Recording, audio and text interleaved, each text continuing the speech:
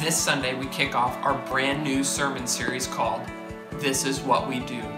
Whether you've been coming for a while or you're just interested in checking out Redemption Bible Church, this series is for you as we look at the scriptures on what is a vertical church, what is our mission as a church, and why we do what we do. It's going to be some great Sundays together as we lift high the name of Jesus in our high impact worship service and look at God's Word together.